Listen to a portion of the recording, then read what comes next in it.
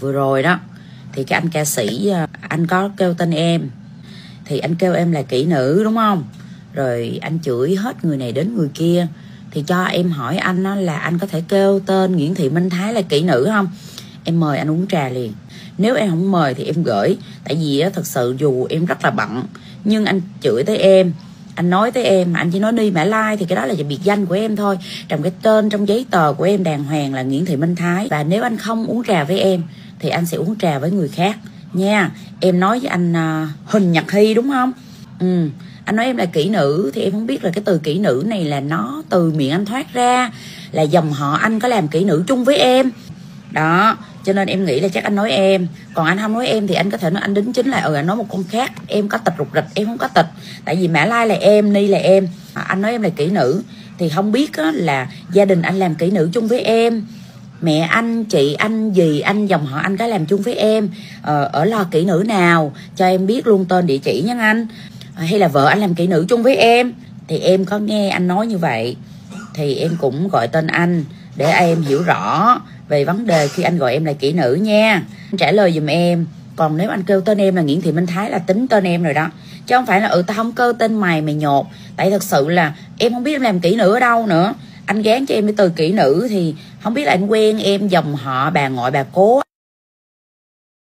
Vợ anh trước đây hay sao đó cho em biết để anh gợi nhớ lại cái ký ức hồi xưa của em hay là hẳn là bây giờ em làm kỹ nữ em cũng không nhớ nữa. Có thể em quên á anh nhắc lại giùm em nha. Rồi cái thứ hai nữa là anh có nói là anh nghiên vũ lên trên mộ á. À, có cho tiền à, youtuber là mua chuột để à, bảo vệ hồng loan thì em cũng xin nói với anh như thế này nè. Hồi giờ anh có tiền anh cũng chưa biết làm từ thiện anh cũng chưa biết yêu thương người khác. Cho nên anh sẽ đánh tráo cái việc là khi mà cho tiền á thì họ sẽ mua chuột nhưng mà thật sự á, anh Nguyên Vũ anh lên ảnh cho tiền là anh thấy á, là những anh youtuber trên ờ, mộ á, rất là cực khổ. Đó rất là vất vả. Cho nên ảnh có chút món quà nhỏ ảnh gửi đến thôi.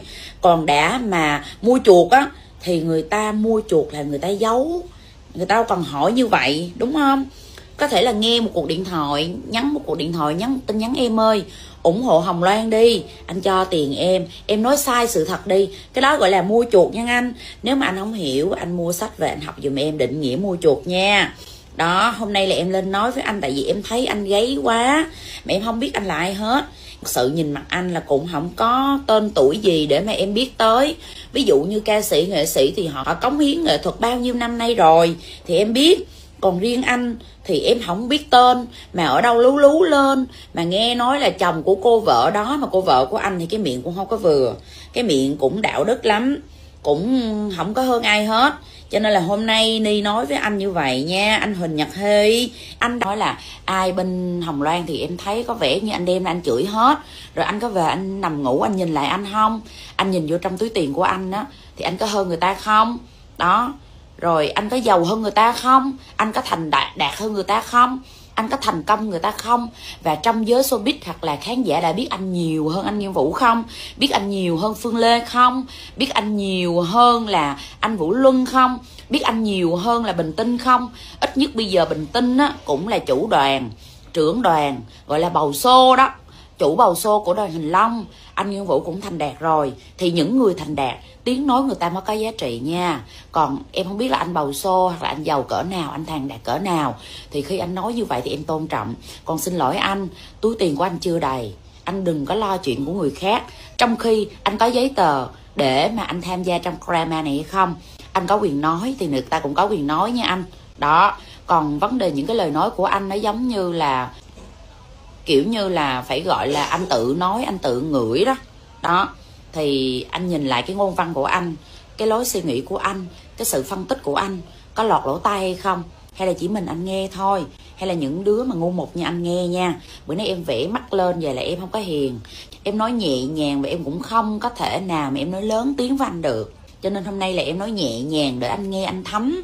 Nếu mà anh nghe anh không thấm á, thì anh mở lên, anh gắn cái tai nghe vô ha anh vợ chồng anh mở lên không là mở lên cái lục tút á để cho cả dòng họ anh nghe cũng được. Người ta phiên dịch lại người ta truyền tải lại cho anh. Đó nha anh huỳnh nhật huy hôm nay em gọi tên anh. Tưởng anh là bầu xô hoặc là ít nhất ceo hay là người gì. Anh với cái anh gì mà bịt mặt mà trên youtube chửi tụi em đó cũng giống như nhau. Thôi thì mình ráng đi. Ví dụ trước khi mình lên mình phát ngôn thì uh, ít nhất để người ta tôn trọng mình là một CEO, một giám đốc hoặc là một người thành đạt hoặc ít nhất có tiếng có tâm uh, có sự cống hiến mà để khán giả công nhận ở trong cái showbiz thì được. Còn thật sự thì vô danh tiểu tốt quá hay là anh muốn nổi tiếng thì anh nổi tiếng theo kiểu này á, thì mai mốt anh ra đường á thì người ta sẽ là à, thay vì người ta gửi gắm cho anh người ta tới ôm anh chắc là người ta phải mua cà chua hoặc là những cái lời chỉ trích mà nó đi ngàn đời ngàn kiếp tới đời con anh nữa nha anh nha. Cho mình nổi tiếng văn minh một